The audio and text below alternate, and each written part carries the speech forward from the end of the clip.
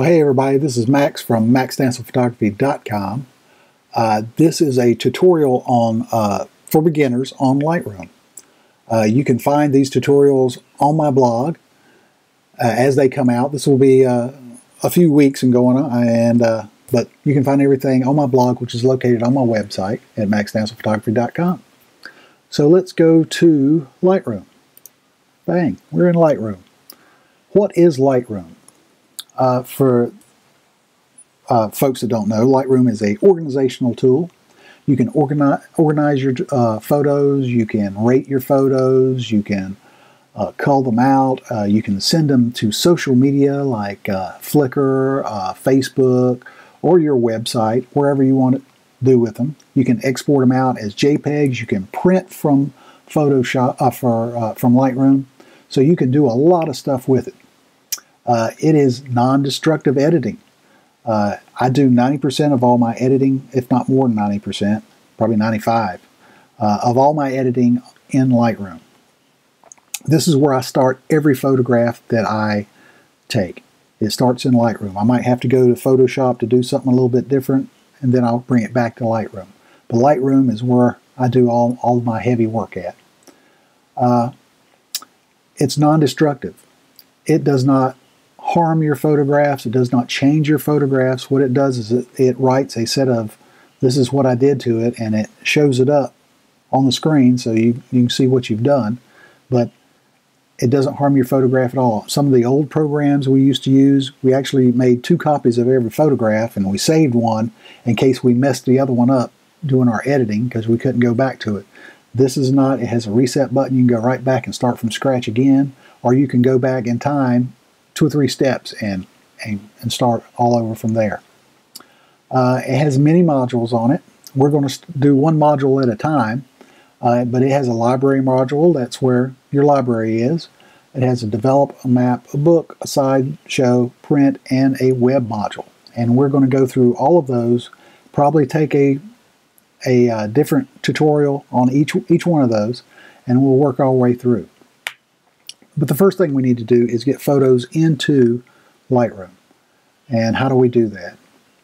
Uh, well, first we uh, take our camera and hook it up to our computer or take our SD card or our CF card and plug it into our computer just like we uh, normally would, whatever software you were using in the past, and uh, put in our, our cards. And by default, when you stick your card in, Lightroom will go right to it and start the import. If it doesn't, down here in the bottom left hand corner in the library module, you can go import.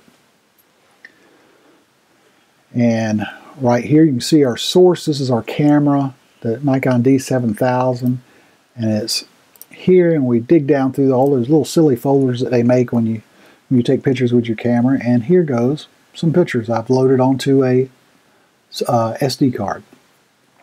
So as you can see up here, it has SD card, and it's from my Nikon D7000. That's what the uh, SD card was labeled as. Uh, so this is where the from is is at on on your computer. Now you can, you know, if you wanted to bring other stuff into Lightroom, maybe you have a uh, a mobile uh, flash drive, mobile drive, or uh, maybe even your hard drive on your computer. Maybe you want to bring something into Lightroom to work on it. Uh, you could do that here also. You can go right in and, and pick a, a, photograph and bring that in. But today we're going to use the SD card because that's usually what we do. Uh, then Lightroom is going to ask you, how do you want to bring it in?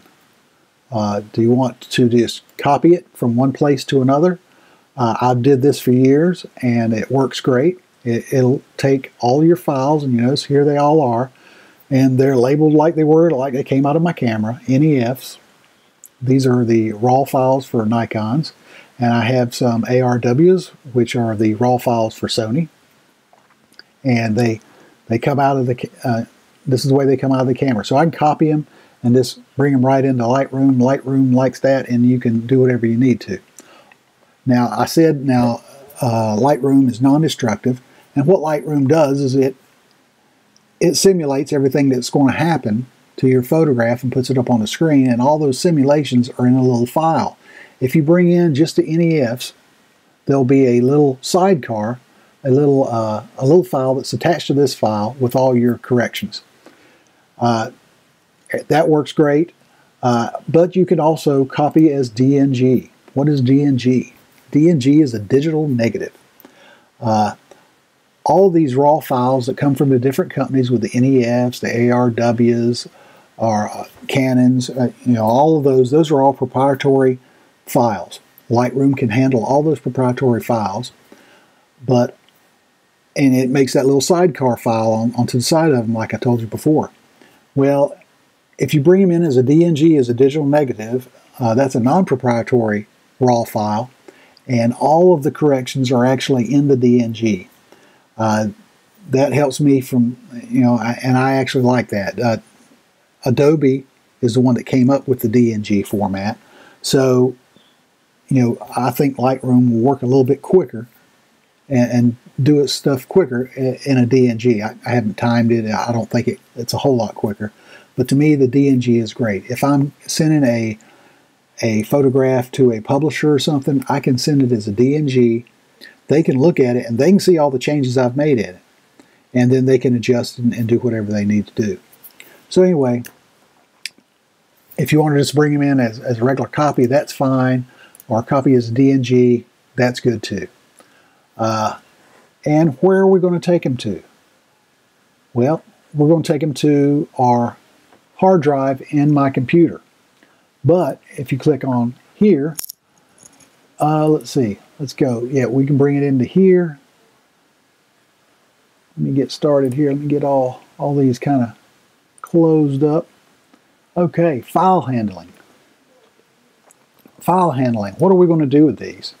Well, with the new uh, Photoshop CC, you can uh, you can take it to your mobile devices like your iPad or any kind of pad, and uh, you can build smart previews. And smart previews is assimilation of this. It's a smaller, uh, but you can edit and do all kinds of stuff. Uh, let's see. You can make a second copy to another drive if you wanted to. Maybe you had an external drive, and this is where you would make a backup copy. So you would send one to your hard drive and one to an external drive, and you could go and copy. Or you could add this to a collection. Now, we're going to go over collections a little bit later, but that's what you could do.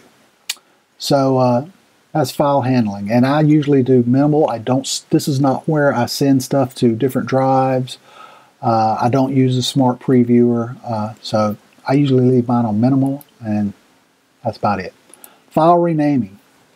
If, for example, you did a photo shoot for a wedding and the Smith's wedding, if you wanted to rename all those to Smith Wedding and have them number it one, two, three, four, five, you know, through the whole gamut of a thousand pictures, you could do that, and that would be a way you could separate stuff.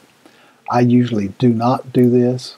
Uh, I'll rename the file at the end uh, apply during import.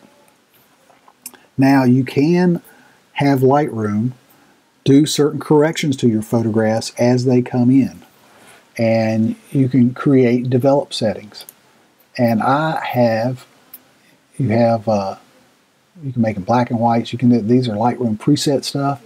Uh, you can come and find user presets that you can create, and we're going to create some later on. Uh, but I've got an import preset that I always use. Uh, metadata. This is also where you can uh, add metadata to your photographs. Now, metadata is information that's embedded into the photograph. No matter where it goes, it has this information on it.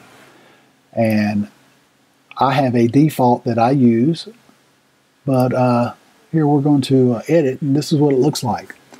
Uh, so let, us look at my custom. This is my default. Uh, so it'll come in with basic camera information, uh, basic info. You, you, can put stuff in here. Uh, copyright. I'll put my copyright on all my photographs. Say it's copyrighted with the year. My copyright. This is my website. Uh, I have my name, Goldsboro, NC. Uh, my email address. If anybody gets a hold of the photograph, Let's see, what else? Uh, keywords. I actually add these keywords upon import. Uh, my name and where I'm from. And wherever out on, if these get out on the web, wherever they out on the web, it helps for uh, uh, uh, the you know how, how Google and stuff brings your stuff up. Because if somebody's searching you, you want your name to come to the top. So the more you put your name out there on the photographs and stuff, the more it'll pop up when you put your name out there. So this is basically for that. But you have all these things you can put on import, but that's usually the only things that I actually put. Uh, you could come in here at import and, and do a lot of other stuff. So I'm just going to hit done. Uh, keywords. Keywording is important. Uh, Lightroom is an organizational tool. So you could put in here uh, keywords like, uh, I'm just looking at the photographs, I could put bear, I could put swans, I could put uh, seashore on this one. And when you type that stuff in, all these will be labeled that. Now, if you were doing one shoot, you know, like maybe, oh, I don't know, all these were at the beach. These three right here were at the beach. Then I could have beach. I could have uh, what beach it actually was, pier. I could have that. And so when I get into my library module, if I wanted to look up all the photographs that had piers in it, I could type in pier and boom, all the photographs that I have piers in it will pop up. So this is an important, important part. Uh, you can apply those during import, or you can do them later on. You don't have to do them at import. Uh, destination. Where we're going to send this to. What is the folder or place on our hard drive that we're going to send them to.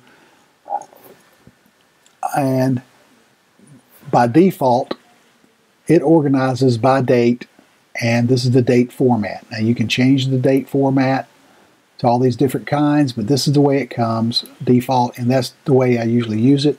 But if you wanted to put them into subfolders when you brought them in, you could name, you could click that and type in the subfolder. Maybe this is your D800 shots, or this is your Canon 5D Mark III shots, however you want to do it. Uh, you know, sunset, sunrises. But you, you could bring them into folders that way. I usually do not do that at this point. I usually just bring them in as the defaults. Okay. All right. So now let's get to looking at our photographs here. So we've got all this stuff set up, where it's coming to, where it's going, where it's coming from, where it's going to. I'm going to bring these in as DNGs.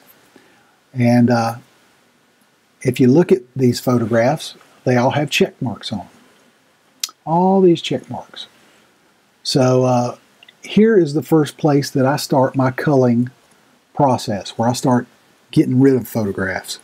Uh, you can't bring everything onto your hard drive that you took. If I went out there and took 500 pictures of the sunset, uh, you know, I'm only going to use three or four of those of a, of a sunset.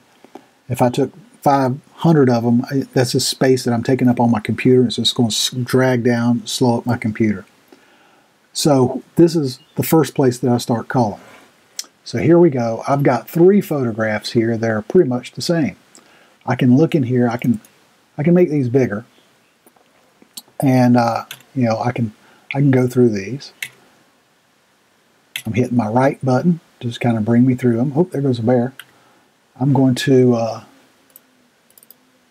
double click on it again and bring it back out. So out of these three photos that are kind of alike, maybe I only want to bring two of them in. Let's, uh, I got a bird coming in on this one. I kind of like that. Let's get rid of this one and we'll save that. So uh, I, don't, I don't need that one. Now I've got four bear pictures here. Now, I like the ones with the faces looking at me, so let's get rid of that one. His face ain't looking at me. Oh, there's two more. Let's uh, let's get rid of this one and we'll save that one. Here I've got birds in flight. Uh, you know, I don't need all these pictures. Let's get rid of a couple. Uh, here I've got some uh, birds flying across uh, the moon here. I can get rid of some of these. Let's get rid of uh, Let's get rid of those. Don't need those. Uh, let's see. And let's just leave it at that. So we've we've already culled down from wherever we were things we're, going, we're going to bring in. Now, sometimes I, I, hit shots, I take pictures of the ground or inside my camera bag. The camera go click, click, click, click. Or, you know, this is where you get rid of all those. All those blank ones and everything, this is where you get rid of them. All right. So now we've brought all those in. Now we can uh, we can import them. And importing them is a simple process of hitting the import button. So I'm going to hit the import button and it's going to bring everything over. You'll notice I have a progress bar up in the top left hand corner. We're now in the library module. So Lightroom is bringing all these in. All the ones we had checked, it's bringing them in. Applying whatever presets I had. I had a couple presets that I had set up, so it's, it's bringing those in and boom, now it's got them all in. It's converting them into DNGs because that's the way I like to do my photographs. I do everything in DNG.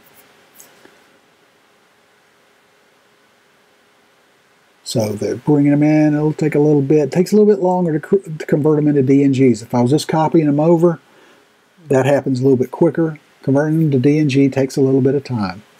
And that's why it's important to cull your photographs before you bring them in. So we're bringing them in. Now these were different dates on all these because uh, I, I, I, went and grabbed some and, and, put them on an SD card so I'd have some different type of photographs on one card. And uh, if you notice, it, when it gets through, we'll have a whole bunch of folders on the left because each photograph that was taken at a different date, it, it kind of moved it around. So we'll look at some of these as soon as it gets finished. All right, we're almost done. Bring them in. All right, we have 24 photos were converted into DNG. And I'm just going to click on the OK. So here we go. We have our, uh, we, we're in our library. And we have our folder here. These are the ones we just imported in. We imported 24 of them into our catalog. So here we are. We've got these. If I click on one, I can look at some of the uh, metadata. You can see Goldsboro, Max Stansell Photography. That'll be on all the photographs because that was put in there prior to. And so here we go. We've got them all in. Uh, you can notice it organized them by date. So if I click, oh, that's not one. Let's see. There's nine photographs I took on that day, six photographs I took on that day, five photographs I took on that day, and four photographs I took on that day. Now normally when you're out shooting you'll have all the same day or whatever, but these were all different days, so uh, that's how I organize them because that's the way we told them to do it by date. So there they are. And uh, so now we've brought them all in. So that's how you get your photographs into Lightroom, importing them. Now our next topic will be the library module and we'll do that in just a little bit. So from maxstansellphotography.com, keep shooting. We'll talk to you later. Thanks.